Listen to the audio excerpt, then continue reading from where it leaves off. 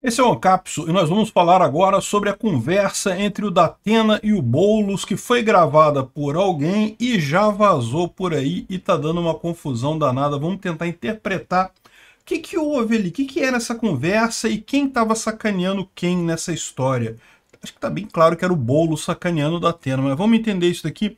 Essa notícia foi sugerida por Pátria Ancap, Fiso L e já entrou a cabecinha e várias outras pessoas. Obrigado aí ao pessoal que sugeriu a notícia.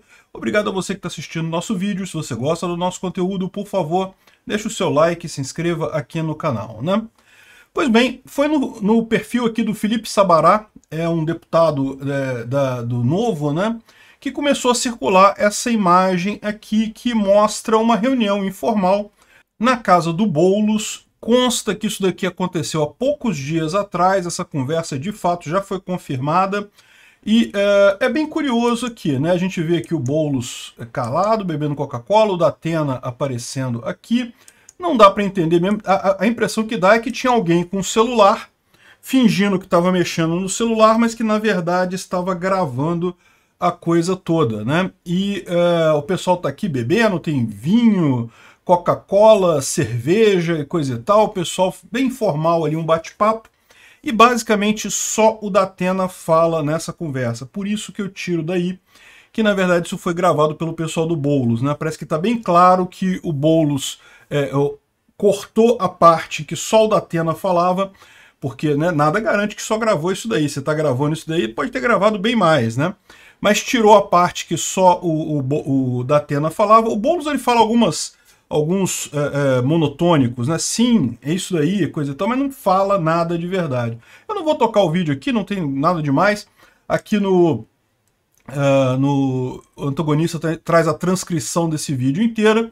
E basicamente o que ele coloca aqui é o seguinte: isso é só o Datena falando praticamente. O Boulos praticamente não fala nada, né? Ele fala que, olha só, o PSOL é um partido que está surgindo com força importante tem um único cara da esquerda capaz de, de ser o substituto do Lula.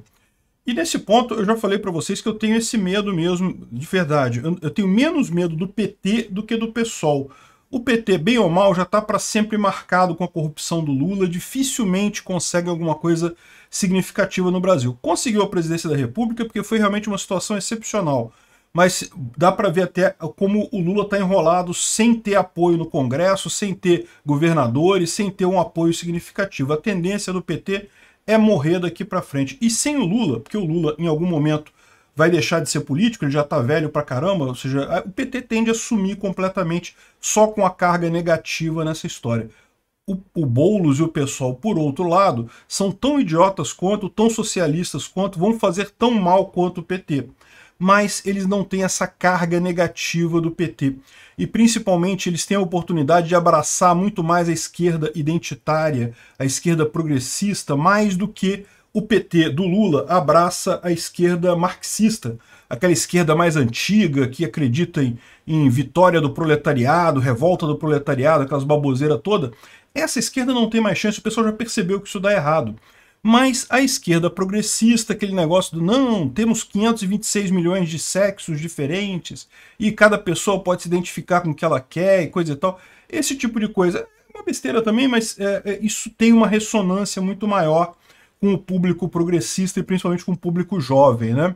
O Datena tem razão no que ele está falando aqui, né? É, o pessoal, o partido que está surgindo com força importante e tem o cara capaz de ser o substituto do Lula. O PT não aceita isso, vai querer fazer o Haddad. Concordo, já tentou fazer na, na eleição passada, vai tentar cacifar ele para a próxima, né?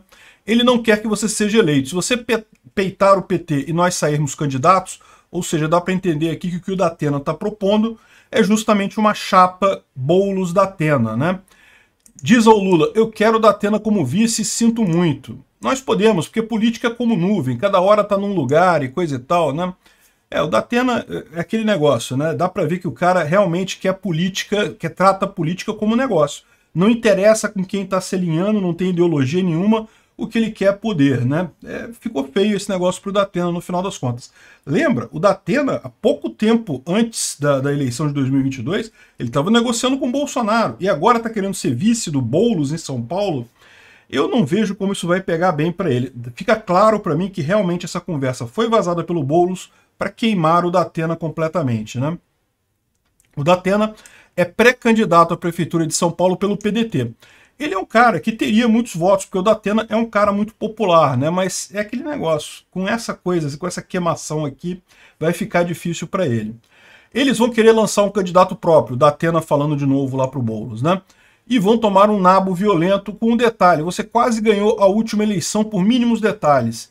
Se o Lula naufragar na política econômica, vai te empurrar para baixo. Você sair candidato pelo pessoal sem o PT não tem sentido. Agora, como peitar o Lula? Não é o PT, é o Lula. Ou seja, o que ele está propondo para o Boulos é justamente se afastar do Lula através de uma aliança com o Datena. É isso que ele está propondo nessa história aqui, que o, da, o, o, o Boulos peitaria o Lula com isso. Né? Dá para ver que o Boulos não topou essa história. Agora, o, o Datena tem razão mais uma vez aqui.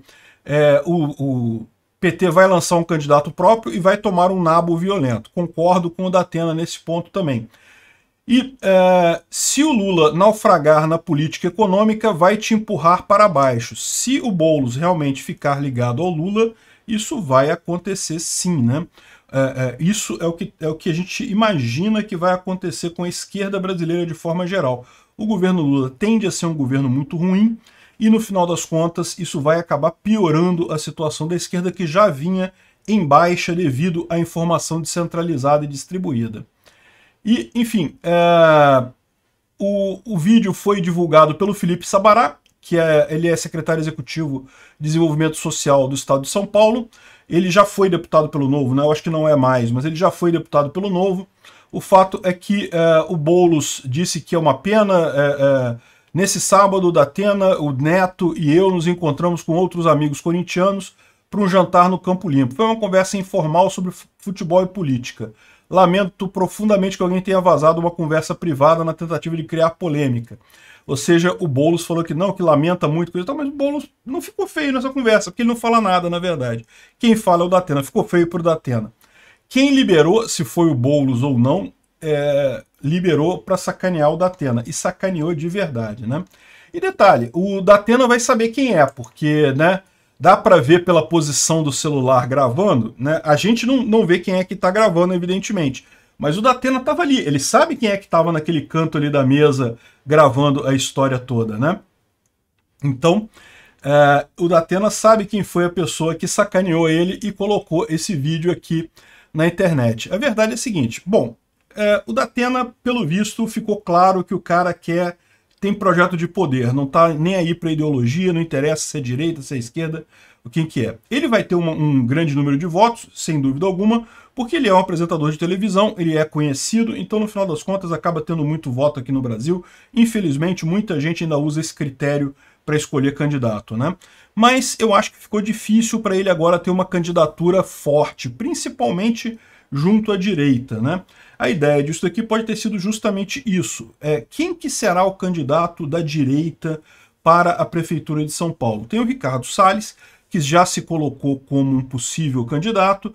O Ricardo Salles é uma pessoa bacana, é um cara legal, mas ele não é uma pessoa tão conhecida assim. E, lógico, apanhou muito na época lá do Bolsonaro, isso pode prejudicar ele. Quem mais que a direita tem em São Paulo? Esse é um problema importante realmente que está sendo colocado aqui. Talvez o Datena fosse essa pessoa e agora não é mais, não tem mais um nome da direita em São Paulo para ser. Russomano de novo? Faça-me rir, né? Não tem nenhuma condição. Quem que poderia ser? Poderia ser alguém do PSD ou do, uh, ou do PSDB, justamente para o Tarcísio ficar mais próximo desse pessoal, para o Tarcísio pode ser uma decisão boa. Se fosse alguém mais bolsonarista raiz, podia ser o Eduardo Bolsonaro, é uma opção também. Ele está como deputado agora, mas ele poderia concorrer como prefeito de São Paulo, é um bom cargo. O próprio Bolsonaro, eu não acho que seria uma coisa boa, porque ele sempre assumiria a prefeitura naquela visão de que ele vai assumir a prefeitura, mas vai sair daqui a dois anos é, é, de qualquer forma. Né? Isso sem contar o risco da inelegibilidade. Enfim, o que me parece essa conversa aqui é realmente para queimar o filme do Datena. E ó, funcionou, queimou direitinho. Obrigado por assistir o vídeo até o final. Além de curtir, compartilhar e se inscrever no canal, considere se tornar patrocinador com valores a partir de R$ 1,99 Clique no botão Seja Membro abaixo para saber as condições e vantagens de patrocinar o canal. Mais informações sobre o nosso projeto, visite nossos sites indicados na tela.